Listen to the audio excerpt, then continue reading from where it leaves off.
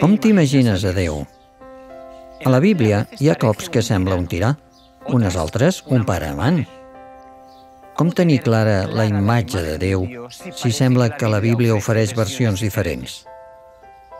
El primer que has de tenir clar és que la Bíblia va ser escrita per éssers humans i reflexa la seva manera de veure a Déu, no a Déu mateix. No és el mateix la imatge que tinc de tu pel que m'han explicat que el que tu ets realment. Una imatge de l'ésser no és l'ésser. I és que la Bíblia està escrita per éssers humans inspirats per Déu, com ens diu la segona de Pere 1 del 20 al 21. Cap profecia de l'Escritura sorgeix per iniciativa pròpia, perquè la profecia mai es va dur per voluntat humana, sinó que els homes parlaren de part de Déu, sent guiats per l'Esperit Sant.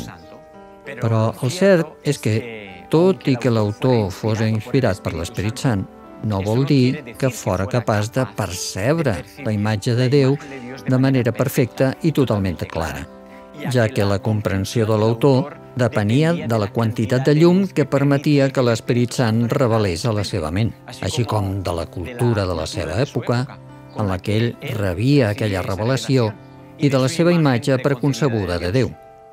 Vegem, la unitat literària de la Bíblia es prova de la seva inspiració, oi?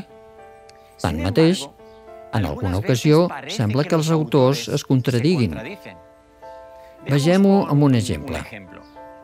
A segona de Samuel 24.1 diu Tornar a encendre's la ira de Déu contra Israel i va incitar a David contra ells perquè digués Ves i fes un cens d'Israel i de Judà.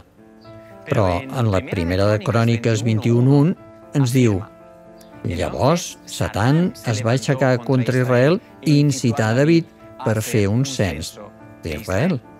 Es contradiuen els autors? No forçosament. Els dos llibres van ser escrits amb una diferència de quasi 200 anys. Entre aquestes dues dates, el coneixement de Déu va augmentar i l'Esperit Sant va aclarir encara més la imatge de Déu que transmetia el text inspirat. Per tant, ens trobem que, a part del llibre de Job, en cap altra part del Pentateuc hi ha una referència a Satanàs com a artífex del mal. No és fins als temps de Zacaries que es parla de Satanàs com a artífex del mal. Per això, en la segona de Samuel, que fou escrita abans que Zacaries, no apareix. Per això, en el llibre de les Cròniques, que fou escrit després de Zacaries, trobem aquest aclariment. No és una contradicció, és un aclariment, una mica més de llum. No es tracta d'una imatge correcta o incorrecta de Déu, sinó d'una imatge menys clara i d'una altra més clara. El problema no és la revelació de Déu, sinó la comprensió de l'ésser humà. Ens manca maduresa. En segon lloc, cada autor va percebre Déu a través dels lents culturals i ideològics del seu temps. Quan més vàrem deixar que l'Espírit Sant actués, tant més clar i perfecta és la imatge de Déu. Per això trobem que abans d'Isaïes els missatges de Déu eren quasi exclusivament per al poble d'Israel i a partir d'Isaïes Déu té molts missatges per a les demés nacions, no sols pel poble d'Israel. Es tracta d'una revelació progressiva. Déu tenia que entrevessar el vel cultural i la limitada mentalitat del poble d'Israel perquè el poble tingués una imatge més completa envers ell. És com un trencaclosques, que si veus sols una peça, o dos, o tres, és impossible que et facis una idea de la imatge que es vol formar. Per això, des del Gènesis fins a Malaquies, tenim una imatge de Déu progressiva i cada cop més universal i inclusiva. Déu va intentar, mitjançant els escriptors de l'Antic Testament, revelar una imatge cada cop més completa i clara sobre si mateix però depenia de l'escriptor o del profeta, perquè Déu inspira el profeta, no li dicta. Alguns van permetre o van entendre més revelació, uns altres menys, com per exemple li va passar a Jonàs. No es refereix a graus d'inspiració, tots van ser inspirats de la mateixa manera per l'Esperit Sant. És solament que alguns van comprendre i van expressar més i uns altres menys. En la segona de Corintis 3, del 14 al 18, diu Però la ment d'ells es va endurir i fins al dia d'avui, cada cop que es llegeix l'antic pacte, el mateix vel els hi cobreix la ment perquè no puguin entendre la veritat. Aquest vel sols es pot treure al creure en Crist. Efectivament, fins avui, quan llegeixen els escrits de Moisès, tenen el cor cobert per aquest vel i no ho comprenen. En canvi, quan algú torna cap al Senyor, el seu vel es treu. Doncs el Senyor és esperit i on està l'esperit del Senyor hi ha llibertat. Per tant, a tots nosaltres, els qui ha estat tret el vel, podem veure i reflectir la glòria de Déu. El Senyor, que és l'Esperit, ens fa més i més semblants a ell a mida que som transformats a la seva gloriosa imatge. El vel de la lletra és una comprensió literalista de les escriptures.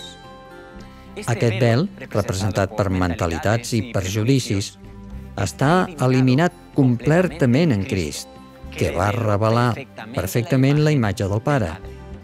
Per això Pau diu que els jueus segueixen tenint un vel sobre el seu enteniment, perquè sense Jesús segueixen condicionats per mentalitats i perjudicis antiquades. Però, compte, que nosaltres, en el segle XXI, també podem tenir el nostre propi vel cultural i ideològic. Correm el perill d'imposar les nostres pròpies idees, perjudicis i mentalitats a la imatge que trobem a les Escritures. Sols quan llegim tota la Bíblia, a través de Crist, som alliberats del vel de l'antic pacte. Ser alliberat del vel de l'antic pacte i no ser més esclau de la lletra s'aconsegueix sols a través de Jesús. A Joan 16, 13 diu Quan vingui l'Esperit de veritat, ell us guiarà tota la veritat. Jesús diu que és l'Esperit Sant el que ens guia en i a tota la veritat. Necessitem que l'Esperit Sant ens ajudi a entendre les Escriptures. Necessitem ser guiats per l'Esperit Sant fins al caràcter de Crist, revelació perfecta de la imatge de Déu. Però l'Esperit Sant no ens forçarà perquè abandonem els nostres prejudicis i vels particulars. Sols podrà guiar-nos si nosaltres som crítics amb nosaltres mateixos i ens permetem dubtar dels nostres conceptes, buscant sincronitzar-los amb els principis que Jesús ens revela al Nou Testament.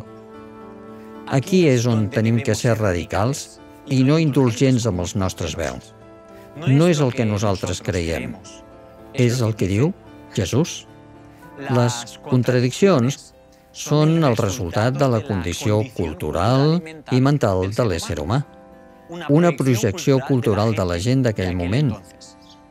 Llavors, quina eina farem servir per diferenciar la imatge de Déu dels conceptes humans?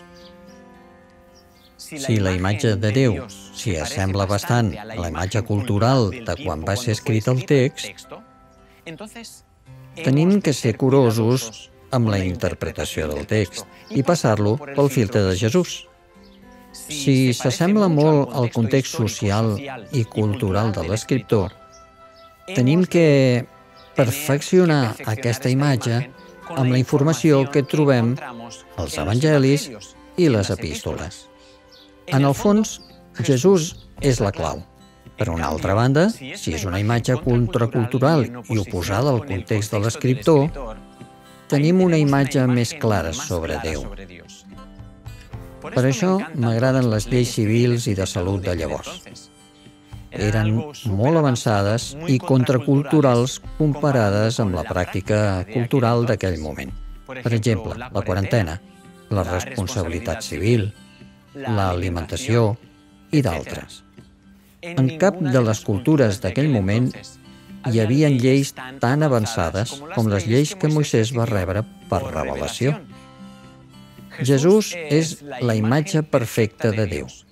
Per això tenim que passar tots els conceptes sobre Déu que trobem a la Bíblia a través d'allò que ens va presentar Jesús sobre el Pare. En el primer segle no era normal una actuació com la de Jesús.